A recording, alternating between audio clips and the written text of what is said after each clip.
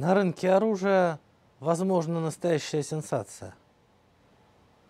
Появилась информация, что Турция может закупить российский зенитно-ракетный комплекс С-400. Сделку президенты двух стран обсудят 3 мая в Сочи. Министерство финансов Российской Федерации готово выдать Турции соответствующий кредит. Очень хорошо, что Россия начала зарабатывать деньги не только на нефти и газе. Пока нефть была выше 100 долларов за баррель, любой несырьевой экспорт рассматривался просто как дополнительный заработок.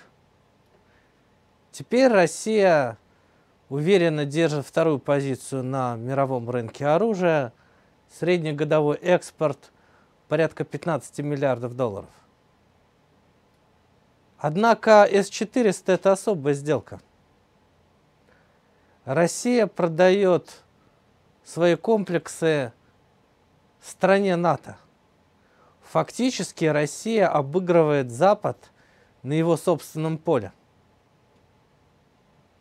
Говоря о сделке, можно также сказать, что экономические интересы определяют российскую внешнюю политику. Ясно, что против сделки будет Ереван, который и так не в восторге от поставок российских вооружений Баку.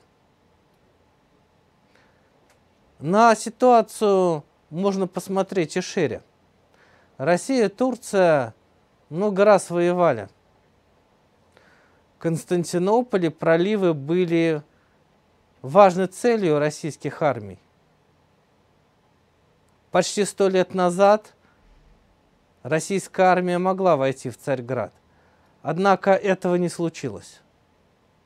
Теперь в 21 веке России и Турции делить-то в принципе нечего. Соседи, торговые партнеры. Если будет построен турецкий поток – и Россия избавится от зависимости по транзиту газа через Украину, изменится вся геополитика газовых поставок в Европу. Россия и Турция с точки зрения экономического здравого смысла должны быть намного ближе. Понятно, что у всех свои интересы, но логика вещей – говорит в пользу этого союза. Единственное, где интересы России и Турции расходятся, это амбиции Турции стать лидером тюркского мира. В России есть тюркские республики, Татария, Башкирия, Якутия. Естественно, Москва заинтересована, чтобы лидером тюркского мира стал главный партнер России в Евразии, братский Казахстан. Именно Казахстан должен стать официально признанным в мире наследником империи чингизидов.